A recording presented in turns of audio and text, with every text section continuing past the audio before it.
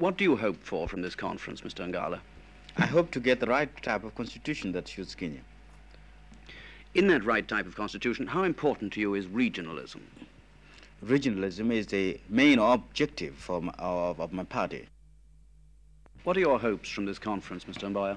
Well, our hopes are that uh, at this conference we'll be able to resolve some of our problems in Kenya and reach agreement for independence within 1962. Will you be in difficulties with your own followers if you can't take back to them independence in 1962?